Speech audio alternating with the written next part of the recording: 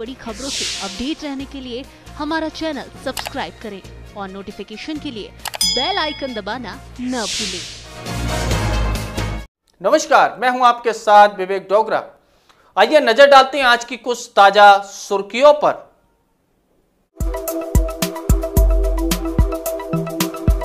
सूरज के तीखे तेवर और लू ने उत्तर भारत के ज़्यादातर राज्यों को अपनी चपेट में ले लिया है। आलम यह है कि दिल्ली उत्तर प्रदेश, मध्य प्रदेश, राजस्थान, पंजाब और हरियाणा ही नहीं, बल्कि पहाड़ी राज्यों जैसे उत्तराखंड, जम्मू कश्मीर और हिमाचल प्रदेश में भी अधिकतम तापमान 40 डिग्री के पार पहुँच गया।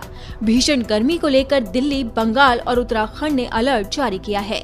मौसम विभाग का साफ़ कहना है कि पछुआ हवाओं की मज़बूत स्थिति और राजस्थान से आ रही गर्म हवा के कारण लू अपना कहर बरपा रही है।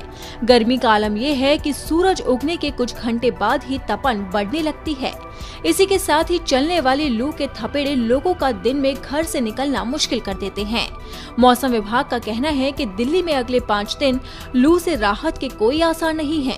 इसी को देखते हुए 28 अप्रैल से 2 मई तक के लिए येलो अलर्ट जारी कर दिया गया। वहीं बिहार की राजधानी पटना समेत प्रदेश के दक्षिणी हिस्सों में चिलचिलाती धूप और लू ने कहर बरपाया। चौवालीस दशमलव सात डिग्री सेल्सियस के साथ बक्सर प्रदेश में सबसे गर्म शहर रहा। बिहार में भी तीन दिनों तक राहत के आसार नहीं है। वहीं बात करें पहाड़ी राज्य हिमाचल प्रदेश की तो वहाँ पर अधिकतम तापमान में दो से तीन डिग्री सेल्सियस की वृद्धि दर्ज की गई। ऊना में अधिकतम तापमान इकतालीस डिग्री सेल्सियस रहा। मौसम विभाग के अनुसार गुरुवार को लाहौल स्पीति समेत अधिकतर ऊंचाई वाले स्थानों में हल्की बारिश हो सकती है। वहीं बात करें उत्तराखंड की तो उत्तराखंड में मौसम शुष्क बना हुआ है और तापमान में लगातार उछाल जारी है।